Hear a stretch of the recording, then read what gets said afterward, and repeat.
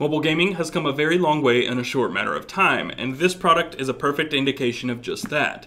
I'm Taylor Martin, this is Pocketnow, and this is our unboxing of the NVIDIA Shield.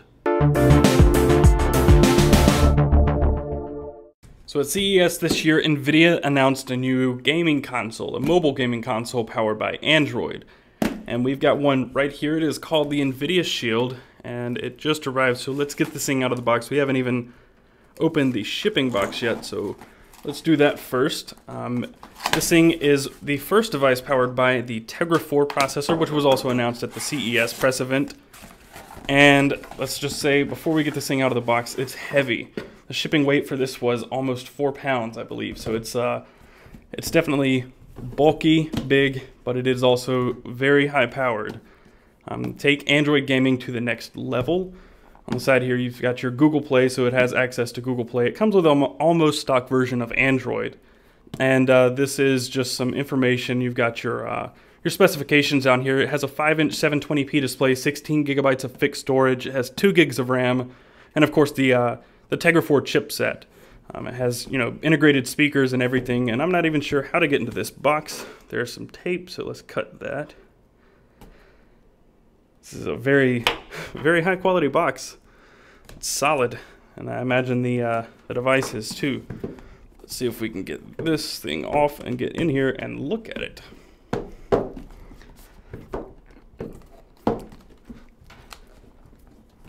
Maybe. This is uh, not easy. Alright, so now that we have that off, you can uh, just lifts up and you can just uh, see what's inside. We've got your AC adapter and your micro USB cable, nothing major. Some reading materials, which includes uh, just some papers. We'll get to that later. You don't need to know about all of that, I don't guess. And the device.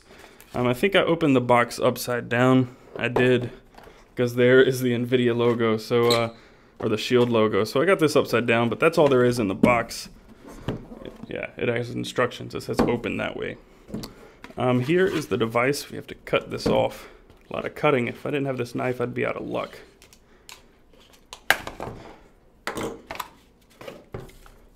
But this is the device. It feels, in the hand, it almost feels actually like a, a 360 controller, which I'm sure other people have said that, but um, we can get this plastic off. I'm going to move it to the mic.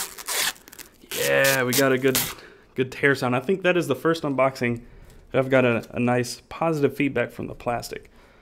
But the device is very chunky, bulky, and uh, it's heavy. It feels really sturdy though. On the back, we've got a few, you know, your FCC branding and everything for your IDs, and it is powered by NVIDIA Tegra. Got another NVIDIA logo and shield, and this is what we've been waiting for. Just pop it right open. Yeah, that's awesome. I love it. It does. It feels like a, 360 controller, except for your joysticks are uh, in the middle instead of having the alternated joystick and the D-pad in the below your left thumb. But uh, this has got something on it, but it says push the NVIDIA button. So as this powers up, you've got your standard XYBA uh, button configuration, a play pause button, volume, back home for your menus, and for your navigation on Android, the joystick's D-pad, and that is your multifunction NVIDIA button.